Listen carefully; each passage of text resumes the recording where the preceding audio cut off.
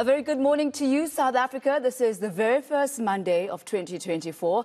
It is the very first day of 2024. And, and what better way to start the year with a realignment? And, and for many of us, this is an opportunity to reevaluate our priorities as well as to strategize for the coming year. How are you going to make sure that 2024 is your year of achievement, your year of fulfillment? How are you going to make sure that you bring the very best of yourself throughout this year? Well, for this conversation, we're joined by Bonnke Shipalana, Group CEO of the Allure Group.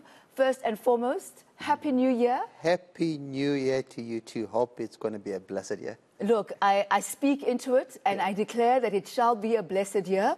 True. Thank you, first and foremost, for waking up. Uh, we know that a lot of people were celebrating it into the new year. And maybe I should ask you, did you actually even sleep? Yes, I did. Uh, spent time with family, and around about one o'clock, my body said, "You're too old. It's time to go to bed." Your body will tell you, right? if the clock is not going to tell you, your body is going to tell you. Yeah. You know, Bonnke, the first of, of January is traditionally a time when many people introspect they retrospect, they ask, how can I do better? How can I be better?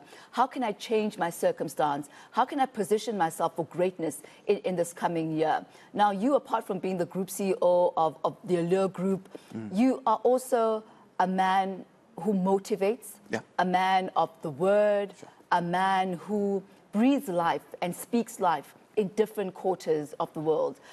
How would you advise us to best position ourselves for a year filled with purpose and power?